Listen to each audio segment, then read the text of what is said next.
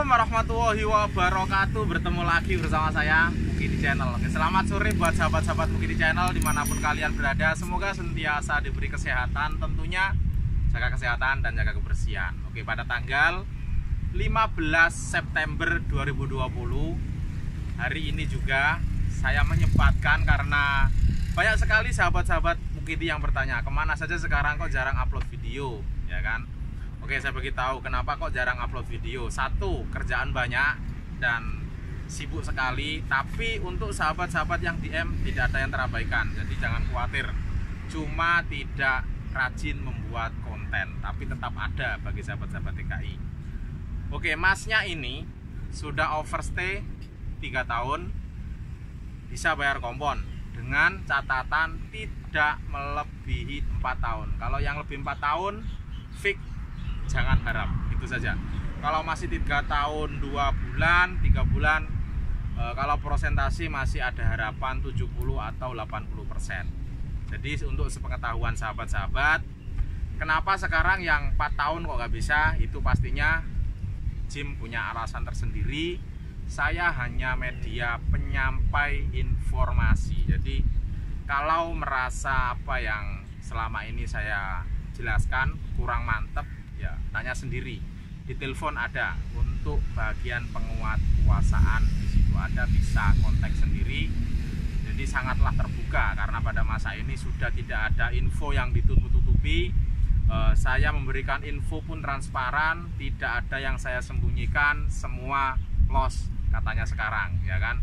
Jadi apa yang dibutuhkan sahabat? Informasi itu semua sudah saya bahas di channel saya mulai dari persyaratan buat SPLP cara mendaftar SPLP cara mendaftar STO persyaratan membayar kompon ya kan? Jadi setelah ini tidak ada pertanyaan yang masuk syarat membayar kompon apa ya kan kan? Jadi di situ sangat terlihat sekali bahwa tidak melihat video saya.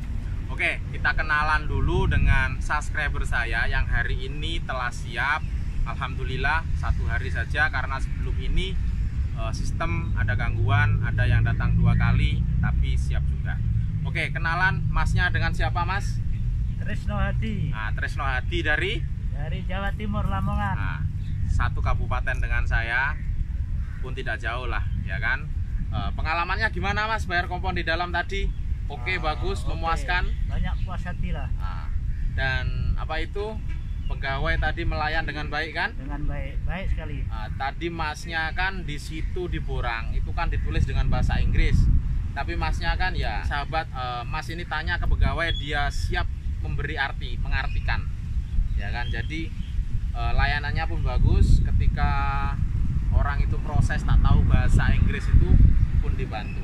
Boleh tanya-tanya. Nah, boleh tanya-tanya. Terus tanya dia dijelasin. Nah, nanti lari sana lari. Nah, nanti akan dibantu ya. Ah, confirm. Oke, pesannya buat kawan-kawan TKI gimana, nah, Mas?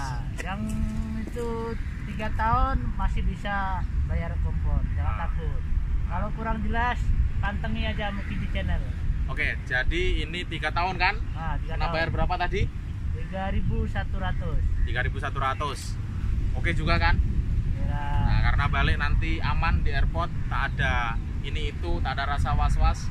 Penting dari selamat. Nah, cari selamat. Sekarang tahu sendiri di luar sana itu beratus-ratus orang, ya kan, yang gagal balik. Karena apa?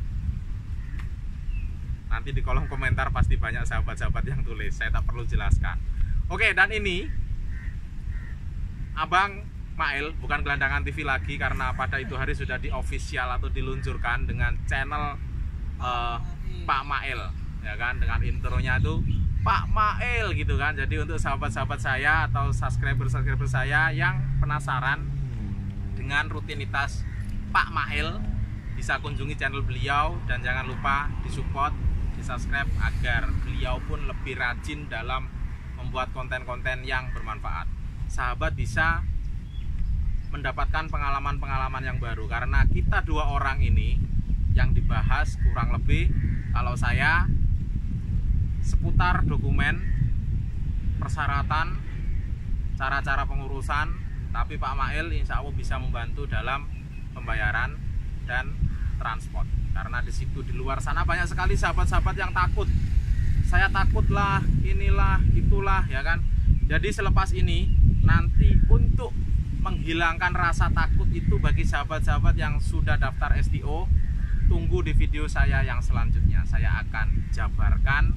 Jadi untuk sahabat yang sudah ada STO tak perlu takut ketika keluar misal ada operasi lah roblok lah apalah los tak ada masalah. Dan untuk sahabat-sahabat di luar sana saya berpesan silahkan cari orang yang berpengalaman dalam pengurusan kompon. Jangan asal-asalan menemui orang di media sosial karena semalam saya pun sedih ada itu sahabat saya ataupun sahabat-sahabat kita yang DM saya katanya kenal orang itu di media sosial uang sudah diangkat paspor SPLP sudah diangkat sekarang orangnya di telepon sudah tidak bisa. Ya kan? Nangis tidak berlagu oke itu saja. Assalamualaikum warahmatullahi wabarakatuh. Salam TKI sukses. Bye bye